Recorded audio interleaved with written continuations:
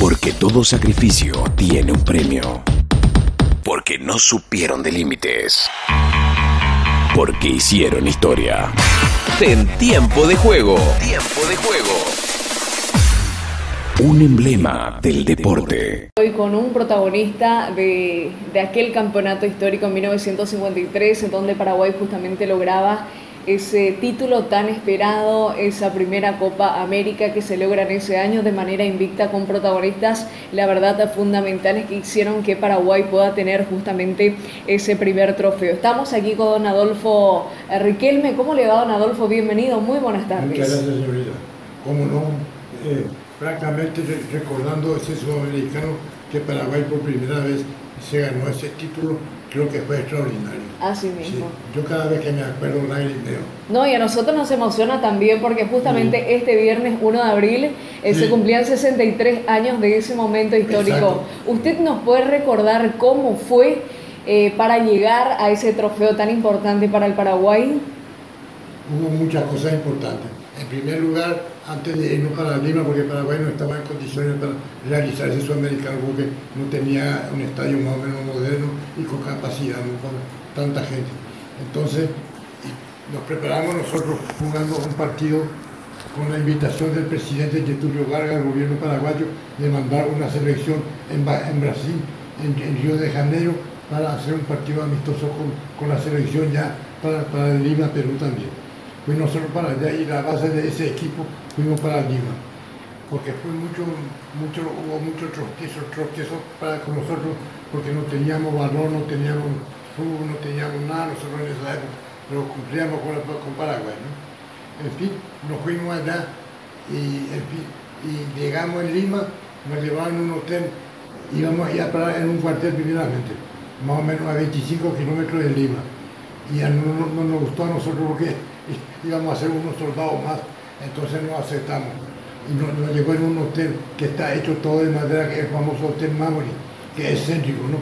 Y al lado de ese hotel pasaban los trenes.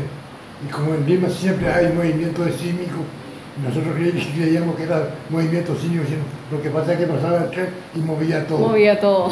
y bueno, nos alistamos en el Hotel Mauri y después el primer partido se hizo la se hizo la, el debut, desfilamos todos, nosotros ya no desfilamos porque teníamos que jugar el primer partido con Chile. Jugamos con Chile, le ganamos 3 a 0. Chile tenía era uno de los mejores equipos y el, la selección más organizada que en esa época era Chile. Brasil también, Brasil tenía grandes jugadores ya en esa época.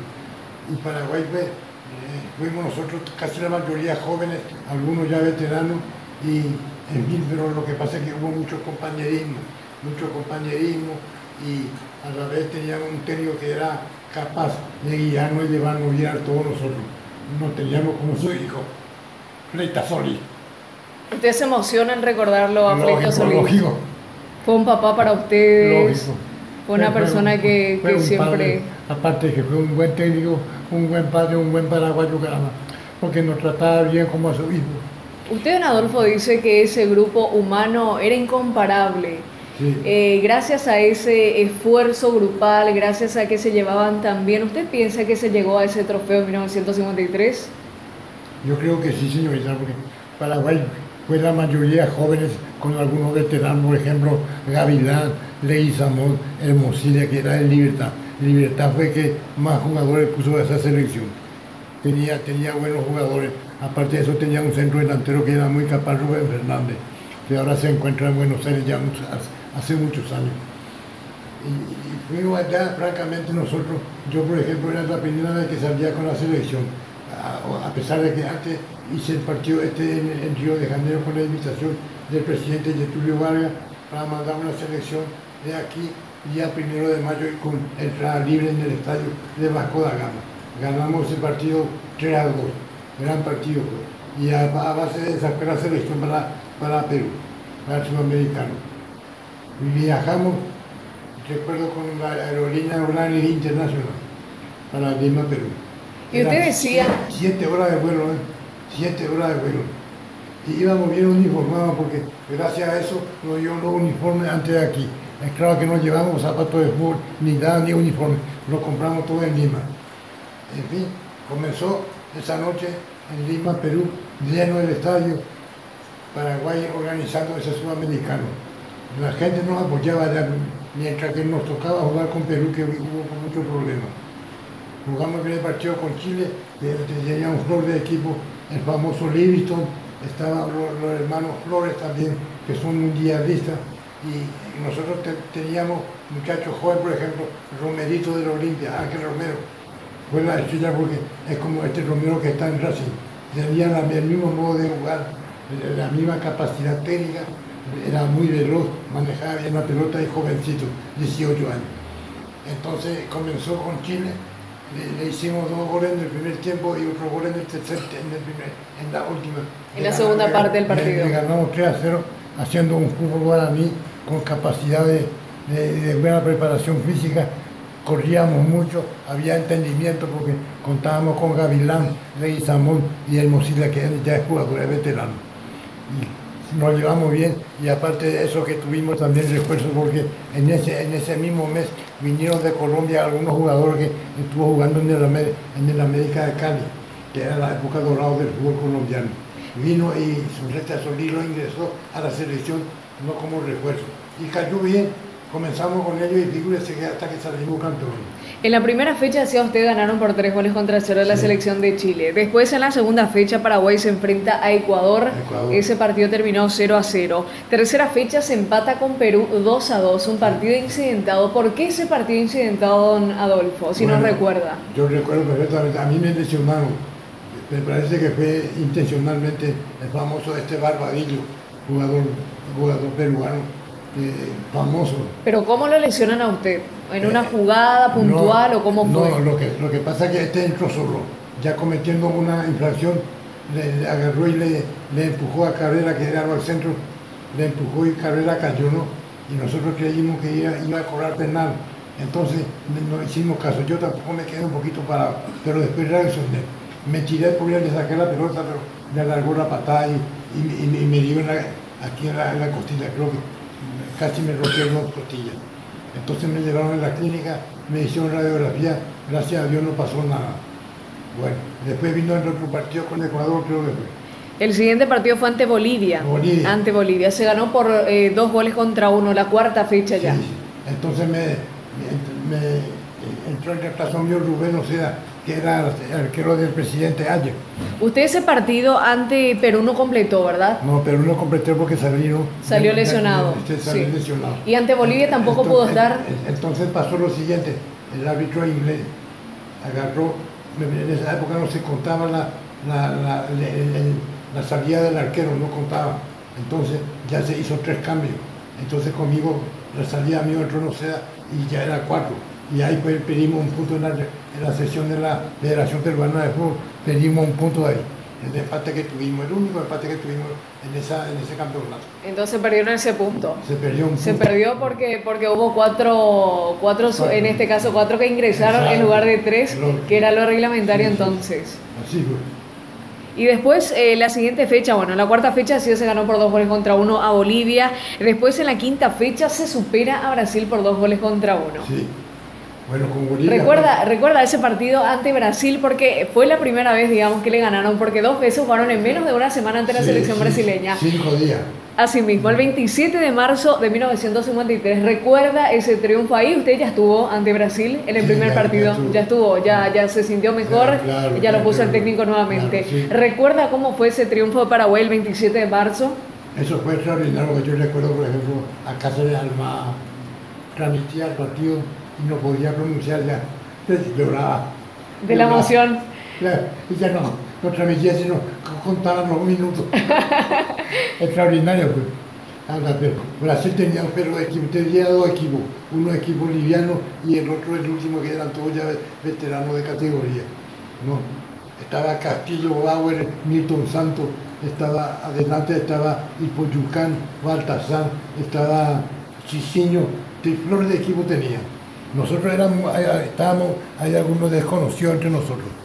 ¿eh? Los veteranos ya eran, eran ya lo, de libertad y, el Olimpia, del Olimpia también. Y bueno, se jugó ese partido extraordinario, fue Paraguay. puso todo la garra, como se dicen por los paraguayos, y mucha emoción en el estadio. La hinchada ya nos apreciaba no nos quiso más nosotros cuando nos tocaba jugar con Perú. Solamente ahí, solamente ahí la hinchada no le quería, pero después en los, ante las otras selecciones sí se sentía el cariño peruano, ahora el cariño del hincha peruano. Se llega a ganar ese partido, se llega a empatar con la selección brasileña, ambas selecciones tenían ocho puntos y había que jugar un partido horrible ese empate. Eso fue el 1 de abril de 1953. ¿Qué nos puede decir de ese triunfo tan emocionante de Paraguay por tres goles contra dos? Paraguay que estaba ganando en el primer tiempo por tres goles contra cero. En el segundo tiempo se vinieron dos goles brasileños. Estuvieron a punto eh, de empatarnos, pero eso, ese empate no se vino. Y bueno, Paraguay que ganó ese partido por tres goles contra dos. ¿Qué nos puede decir acerca de ese compromiso de hace 63 años? Bueno, ese partido fue extraordinario para mí. Le recuerdo toda mi vida. Fue muy bueno porque, quería decir, desde el comienzo nosotros dominamos el primer tiempo aprovechamos la oportunidad, los muchachos hicieron tres goles. Entonces teníamos 3 a 0. Viendo el segundo tiempo, hizo los respectivos cambios Brasil, pusieron más jugadores ágiles, muy buenos, Baltasar y Poyucán y esas cosas. Entonces ahí fue la falta porque nosotros ya estábamos requete cansados en el primer tiempo, se defendió Paraguay sea como sea y consiguió esos 45 minutos. Los 45 restantes nosotros llegamos dos veces nada más en el arco de Brasil después todo era ellos, todo era brasileño. Avasallante era Brasil ahí, ¿verdad? Avasallante. Y ustedes no podían reaccionar, ¿por qué? No podíamos porque no, no, podíamos con ellos, comenzó a tocarnos, no hizo el baile como dicen ellos, no. La garra brasileña comenzó a tocar pelota, hicieron malabares, pero nos defendíamos a capa y espada. Por, por ejemplo, este último partido eh, que Paraguay jugó, si hubiera hecho lo que nosotros hicimos, hubiéramos ganado a Brasil. A Brasil, no, no se hizo, no, se hizo. no se aguantó, no se aguantó. tenía que pasar pelota afuera, pasar tiempo, y no hicieron eso. Si no hubiera ganado Paraguay. Y ustedes sí lo hicieron. Nosotros hicimos. En 1953 lo hicieron y bueno, gracias a eso Paraguay pudo conseguir el primer trofeo continental el 1 de abril de 1953. Un momento tan emocionante para usted. Eh, ¿A quién dedicó ese triunfo? ¿A quién dedicó ese trofeo eh, en aquel año? A Paraguay, porque yo recuerdo, eh, llegaron telegramas de aquí a Paraguay, a Perú, a la selección paraguaya, pedían 5 millones de habitantes para que se dé el título. Y Brasil sí 25 millones, que hay mucha diferencia, ¿no? 25 millones pedían para que gane otra vez Brasil, porque anteriormente Brasil siempre dominaba todo el asunto, ganaba todos los partidos. Y de hecho Brasil era la selección que era favorita a quedarse con el, con el trofeo. Favorita era. Pero eso quedó en la historia, porque Paraguay pudo ante Brasil. Lo que tuvo más favorito de ganar era Perú. ¿Sabe por qué? Porque Perú si ganaba salía en Perú. Pero le tocó a Uruguay y le ganó Uruguay 3 a 1. Entonces ahí perdió Perú el campeonato y Brasil, Brasil no aseguraba porque anteriormente nos, goleaba, nosotros nos ganaba todo. Y en cambio nosotros, este, con, un periodista, Alfonso Lupillosi, peruano, famoso periodista, decía, no, esta vuelta yo creo que Paraguay gana porque es un equipo de mucha garra. A mí me quería, me quería mucho Lupillosi. Y entonces, es cierto, fue lo que dijo hicimos todo lo posible y le ganamos a Brasil. Le ganamos y le felicitaba a Romero que él, él, pensó y dijo, no, Paraguay va a ganar a Brasil, acuérdense de mí. Y se cumplió, don Adolfo, se cumplió, eso que dijo. Y también eh, algo bastante meritorio, algo muy lindo que rescatar es lo que Paraguay pudo conseguir ganar dos veces a la selección brasileña en cinco días. Ninguna otra selección en el mundo pudo lograr eso, y Paraguay lo hizo. No, eso Paraguay lo hizo, sí. Y es el único. El único, hasta ahora. Hasta ahora no hay otra selección. No, no hay. Y a usted lo llena esto de orgullo, le, eh, ¿cómo siente, eh, como decía al principio, este plantel era tan fuerte, había tanta hermandad, había tanto compañerismo, por eso se pudo conseguir ese trofeo?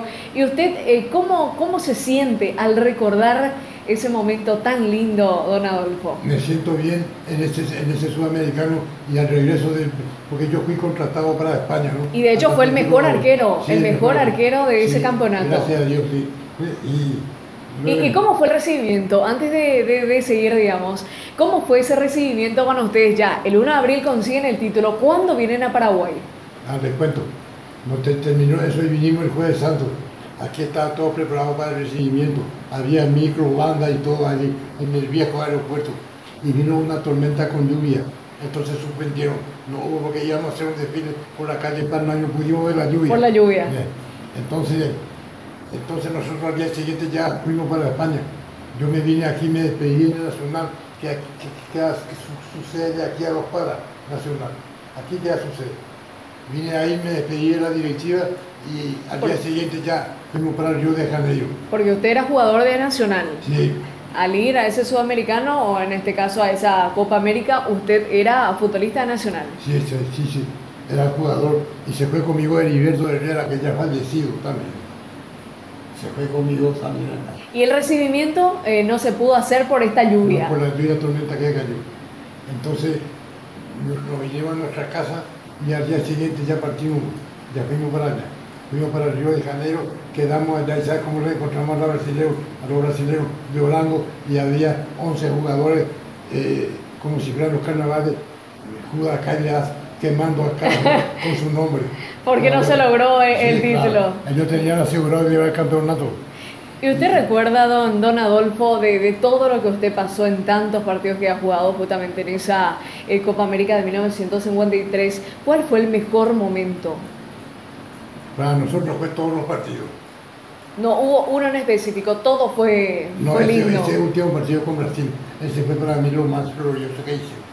¿Eh? Y Se emociona al recordar eso. sí, lógico, me emociono mucho. Y tengo un hijo que es arquero también, está en Colombia. Ella es mi hija que está en Colombia también. Vino para verme y todos recuerdan. Y, ¿cómo le voy a decir? Este, te, te voy a contar lo demás. Luego me fui contratado para allá. Estuve hasta el año, hice un contrato de cuatro años con el Atlético, 53 a 57. Me vine de allá, me vine de allá y me iba a ir a Las Palmas un equipo también, pero no quise, quise venir al Paraguay no me ahorraron. Bueno, para recordar a la gente, gracias a esta Copa América de 1953, usted pudo conseguir una transferencia al fútbol español, nada más y nada menos que el Atlético de Madrid. Sí. Fue, firmó por cuatro temporadas. Eh, ¿cómo, ¿Cómo se sintió en esos años? ¿Cómo fueron esas temporadas? Usted como mejor arquero elegido en ese eh, campeonato de 1953, ¿cómo se desempeñó allí en el fútbol español? Muy bien. Tenía un técnico también que era famoso, el divino Zamora, Ricardo Zamora. Arquero también era. Y fue mi entrenador. Y yo aprendí mucho de él porque allá me enseñó. Y me quise quedar otra vez, no, ya no. porque yo me casé muy joven, siendo menor de edad, mi señora también. Y yo me casé 19 y mi señora 18. Nos casamos porque nos, dio la autorización del juez. Y gracias a esta ahora vivimos. Y antes, eh, cuando uno tenía 21 años, era mayor de edad, ¿verdad? 22 era. A 22 años en aquel entonces. Pero Sí. probó permiso, ustedes se Sí. casaron y su señora siempre la acompañó a usted donde iba. A- Todos los años, en todas partes donde voy se da cambio. Ahora está. Yo tenía que estar arriba con ella. Sí. Pues yo no puedo, me prohibió caminar. Ah, claro, de la entiendo. Y me, me dio una- un infarto y me quedé un poco malo de, la- de esa parte derecha. Pero lo vemos bien de igual manera, don, don Entonces, Adolfo. Y ahora vino y se lesionó a mi señor. Se lesionó ahora ella, no, Claro, pero de, claro, de igual claro. manera ustedes siguen estando, están en la Sí, misma casa, hay que recordar eh, que, que siguen en el mismo lugar. Si bien es Sí. cierto, su casa es muy grande, es de tres pisos, usted está acá y bueno, su señora está en otra parte. Fueron años muy lindos entonces al estar en. Atlético Madrid, estuvo cuatro temporadas eh, de España. Eh, ¿Qué nos puede decir? ¿Cómo se adaptó fácilmente al fútbol español? Bueno, mira, yo te voy a decir una cosa, yo casi no doy importancia porque era muy joven y no, te- no tenía quien me guiara. Necesitaba, con, la edad que tenía muy joven y la primera vez que salgo, entonces necesité una persona que, que me guíe, ¿no? Y no había una persona ahí. Gané mucha plata y gracias a eso esta casa es de ahí. Tengo otra casa de herencia en San Antonio y la, la tengo que ahí están todos los trofeos. Aquí nada más que tengo los árboles. Y, y ahora como me pasó este, yo me vine de allá pero lo dejé. Y entonces mi hija no, vamos a dejar como un museo. Ahí vivía mi mamá y mi papá antes. Y se queda como museo don Se como Adolfo. museo, sí. Y de la familia, por supuesto. Sí, así es. ¿Y usted, eh, en este caso de- del fútbol español, vuelve al país o, o ya va a, a transferido a otra parte? ¿Dónde Te usted voy a va? contar, yo me vine de allá en el 57 después de cumplir mis cuatro años de, de contrato. iba a ir a Las Palmas, pero no me fui, quise venir a Paraguay No, no aceptó, no quería seguir en España. No, y por eso te digo, faltó una persona que me guíe, porque me hubiera quedado más, más plata, hubiera ganado ahí. Pero él te ya hubo más, sí, quería volver a su tierra, quería volver a, a, estar con su familia. Vine aquí y eh, este, vine aquí y, de ahí, de aquí, de aquí me fui al, Perú otra vez, me, me contrató. Estaba convocado otra vez por Nacional, pero vino un empresario, justamente era mi compadre Manuel Paredes, que era gerente de RAT Paraguay allá cuando en esa época. Y él fue el que me consiguió para el Atlético Charlaco. Estuve ahí cinco años jugando otra vez. De ahí, cinco años, me pasé un año en la Alianza Lima. Y en la Alianza Lima me contrató otra vez para Colombia, donde le consideró mi, mi, segunda tierra. Su segunda tierra. Mi, mi, mi, hija de años. Ellos nacieron allá, sus hijos. Ah, ya, su hijo todos, nacieron. Todos los trajeron están en Colombia y en otra parte. El otro hijo que tengo aquí es ingeniero, aquí enfrente. Los extranjeros están aquí conmigo y las paraguayas. Se fueron. las cosas de la vida, don Adolfo. Entonces usted estuvo en el fútbol colombiano en el Atlético Bucaramanga y después en Real Cartagena. También jugué ahí. Eh, en el América de Cali y Charraco en Perú. Ah, también. En, el América de Cali también estuvo. Estuve ahí siete años. Siete años, mucho tiempo. De ahí pasé al Atlético Bucaramanga y de ahí al Cartagena. Y luego de ahí me vine ¿Volvió a Paraguay? No, me fui al Ecuador como técnico ya. Ah, ya Ecuador. Pero usted se retira en el fútbol en Real Cartagena. Sí. Esa fue la, la última parte de su vida futbolística. Sí, claro. ¿A los cuántos años se retira usted? 45 años clavado. 45 años. Y hubiera jugado más, pero como tengo un hijo, me dijo, no, retírese. Ya el hijo mío era suplente mío. Pero usted se sentía en este caso de que usted podía dar más todavía. Pero como tenía el hijo de suplente mío, entonces... Él quería ser titular. entonces por eso le decía, retírese ya papá, ¿verdad? Me, retiré por eso. ¿Y, cómo fue? ¿Cómo usted se cuidaba para llegar a esa edad? ¿Se cuidaba mucho? Le, le, mucho a mi señora. Ella me cuidaba mucho. Ella le cuidaba mucho, era estricta con usted, le decía, tiene que dormir temprano, tiene, que, tiene que comer bien. A ella le debo todo. A ella le debe todo. Sí. ¿Cuántos años de casado lleva don Adolfo? ¿Cuántos años? 87 años, figúrese. Muchos años de casado. Y muy felices, por cierto. acompañándose siempre las buenas y las malas. Todos los hijos salieron profesionales. Hay médicos, hay economistas, ingenieros, hay abogados. Esta hija que tengo aquí, que vino de Colombia, hace dos meses que vino y ahora ya vino otra eh, era, la que más quiero, esta hija. Sí, porque la que más está con usted, ¿verdad? Qué, gusto tenerlo en serio emocionado, eh, don Adolfo, recordando por supuesto a su familia, que es la parte más importante que uno tiene, porque cuando usted se retira al fútbol, ahí digamos sí ya puede disfrutar más de la familia, ¿verdad? porque priva mucho este tema del fútbol, viajar, si bien es cierto usted le tuvo a su señora, de igual manera ese acompañamiento estuvo, pero eh, no estuvo tal vez cerca de sus padres en su momento, pero pudo disfrutarles de alguna manera. Usted dice... Busca mucho, busca mucho se busca mucho el o el paraguayo, es muy, está muy ligado a sus afectos. Usted nos decía, se retira en Real Cartagena de Colombia, ahí ya termina a los 45 años, deja el fútbol y va al fútbol ecuatoriano como técnico.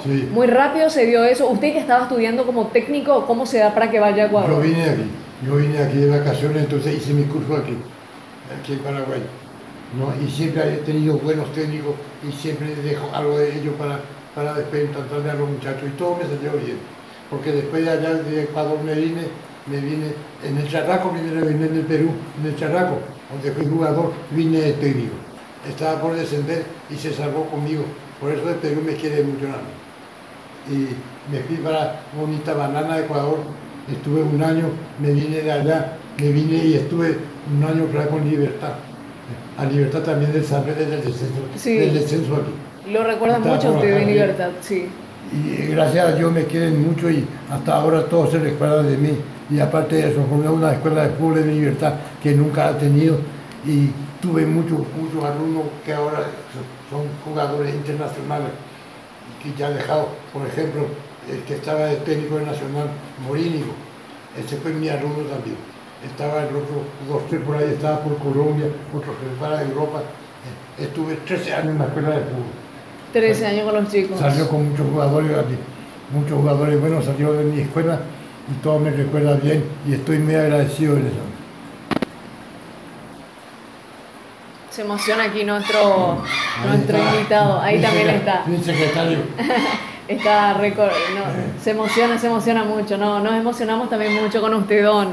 Don Adolfo, gracias por esta entrevista. Y bueno, eh, todo, todo lo que le ha dejado el fútbol se nota, se nota en su familia, en sus hijos, por supuesto su señora, siempre estuvo ese acompañamiento. Y bueno, usted le ha dado muchísimo al fútbol paraguayo, le dio, imagínese, aquel trofeo de 1953, igual que usted, sus compañeros. Le, voy a, le voy a recordar la alineación titular de aquel partido final ante la selección brasileña. Ah, en el arco estuvo justamente nuestro invitado Adolfo Riquelme. Después en la zona defensiva, Heriberto Herrera, Melanio Olmedo, Manuel Gavilán y Victoriano Leguizamón. En el mediocampo, Ireneo Hermosilla, Ángel Berni, Atilio López, Rubén Fernández. En la delantera, Juan Ángel Romero y Antonio Ramón Gómez. Y el técnico en aquel entonces fue Manuel Fleita Solís. Muchos recuerdos, muchos recuerdos de, aquel momento, Adolfo. Sí, y tengo unas grabaciones también. Lástima, yo siempre escucho con estas grabaciones de los partidos y también de Cáceres Armada que transmitía da mucho escucharlo porque uno se siente, ¿no? Cómo sufrió todavía. A usted le ha dado mucho el fútbol. Sí, gracias a Dios. Y en una palabra, ¿cómo puede describir esto que le ha dado el fútbol? En el sentido de que antes pues casi los jugadores paraguayos no, no, aprovechaban, ¿no? No, tenían su casa ni nada. Yo lo primero que hice, mandé plata a mi señora y ella compró esta casa. Aquí vivía la, la, madre de, de Papalardo era un hermoso terreno. Mi hijo, que era ingeniero, no lo trajo Y la casa que tengo en San Antonio también era de mi familia, de herencia, me dejaron de herencia. Y estoy muy agradecido por el fútbol, aproveché en su momento, gracias a Dios, hasta me encuentro todavía más o menos bien. Súper bien se encuentra acá, de hecho lo vemos muy fuerte, eh, súper bien, de hecho está por supuesto comentando, recordando todo lo que fue. Nosotros lastimosamente no pudimos vivir, don Adolfo, pero estamos recordando todo eh, a través de su relato, a través de lo que usted nos cuenta. Eh, ¿Usted ve fútbol? De fútbol, le gusta ver el, campeonato local, le gusta ver los partidos internacionales. Recordaba hace rato el partido de la selección.